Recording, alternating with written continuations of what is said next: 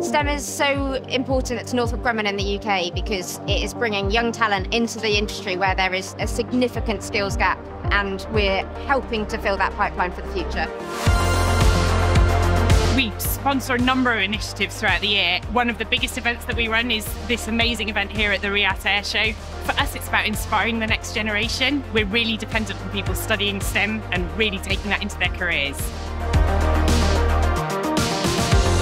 For me, the best part of RIAT is seeing the smile on the children's faces, engaging with the activity, and that wow moment when they actually realise that the maths actually works and they've actually achieved something. It's been so cute seeing them actually work through the problem, and I'm really impressed by their math skills. I have little kids just pulling out numbers that I had to pull a calculator out for. So it's been such an amazing day. We've had different children interact with the stand, with the Lego, and also the robotics that we've got going on, and just creativity all around. If you look around here, what you see is young people getting excited about space technology, defense technology, and some things they might do in their lives and their careers.